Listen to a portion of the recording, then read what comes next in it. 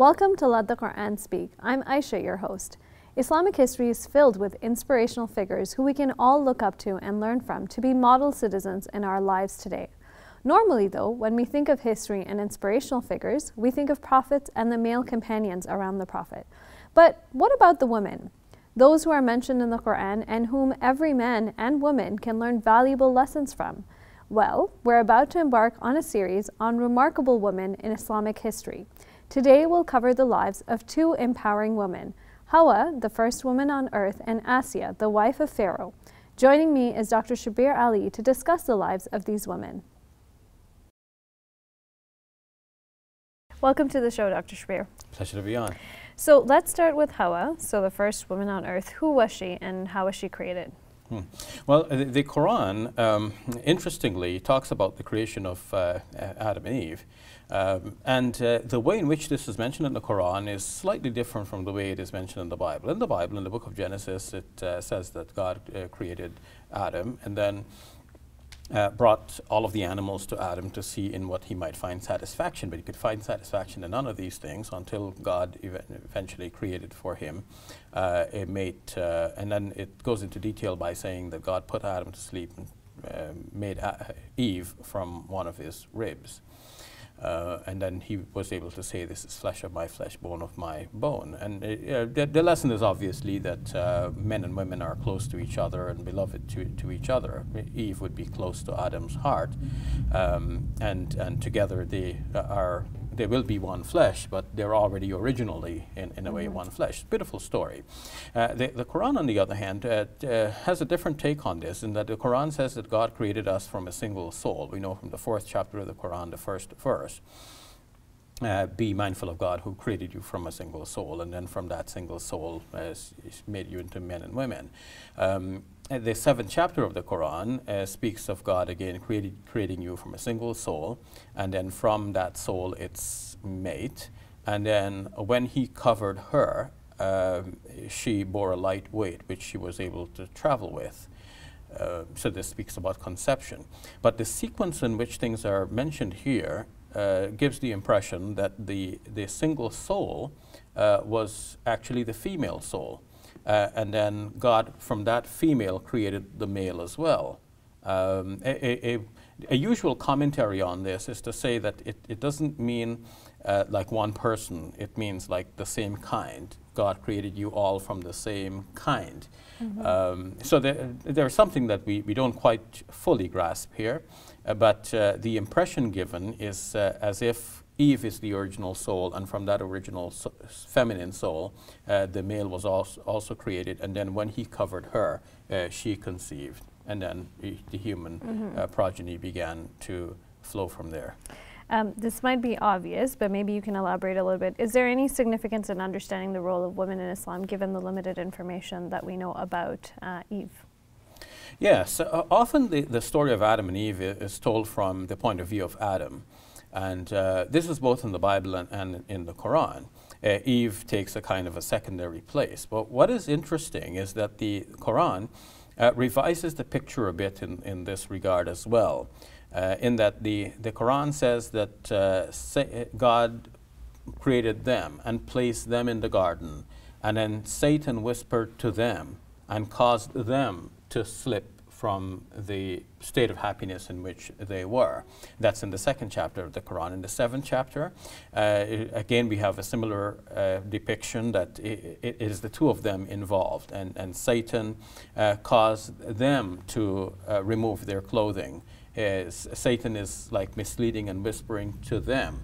This is in contrast with the biblical narrative where uh, in, in, the book of Genesis we, we have it that uh, Satan uh, came to the woman and said to her, is it true that God said uh, that you're not to eat from this one particular tree? And, and then he uh, convinces her to eat from that tree. She eats from it and then she gives the fruit also to her husband and then he ate. So some people were able to make a point based on this, that, that uh, Eve is like the gateway to Adam, and the devil did not uh, approach Adam directly, but went through the woman. And um, this begins a series of narratives in the Old Testament where women often are depicted uh, as um, um, uh, temptresses or uh, seductresses or so on. Uh, in the Quranic narrative, we have this situation uh, slightly reversed in that um, uh, we have Adam uh, on several occasions uh, and, and, Eve together being spoken of as being the objects of Satan's guile. and in one particular passage in the 20th chapter of the Quran, in the 120th verse, and in that area, um, it is said that Adam disobeyed his Lord. So specifically Adam, but the, in the other narratives, there is no specific mention that Eve uh, disobeyed. N not she specifically, it's the two of them.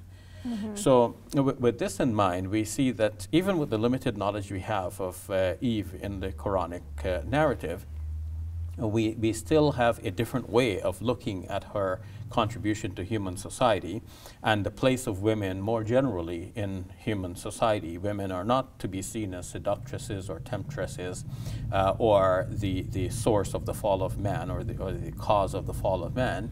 Uh, women are there as, as the Bible says, actually as man's uh, helpmate. But more than this, uh, they are on equal footing as uh, servants of, of God. And uh, with or without men, uh, women should be and can be uh, servants of God.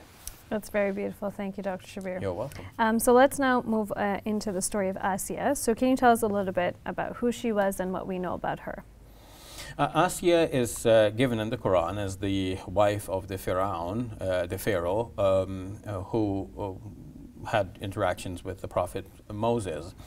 Uh, it is mentioned in the uh, story of Moses that uh, when his mother placed him in, in the uh, floating device, the vessel, and placed him upon the Nile River, uh, the vessel took him all the way to the court of the, of the Pharaoh. And uh, Pharaoh's wife then took up this baby and said, let's, let's not kill the baby, but let's keep him. Maybe we can adopt him and he can be of some benefit to us and he will be a child to us.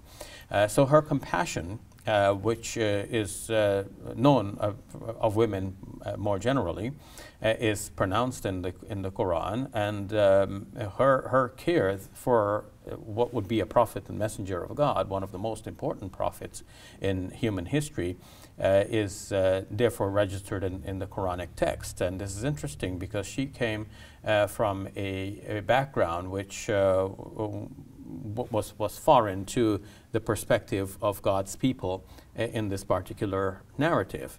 Uh, and uh, normally narratives uh, tend to sideline other people and paint them in the darkest uh, pictures possible. But here the Quran is uh, showing that Asiya was not only a remarkable woman, but uh, despite the fact that she came from the other side, she is nonetheless uh, a, a, devout servant of God.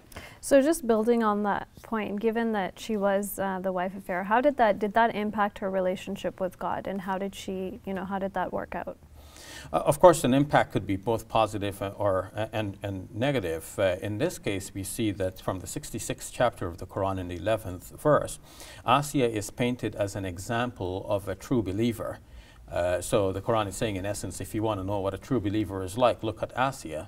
And, uh, and, and the Quran says that uh, she said, uh, she, she said in her prayer, uh, my, my Lord, build for me in your presence a, a house in paradise and rescue me from the Pharaoh and from the oppressive people.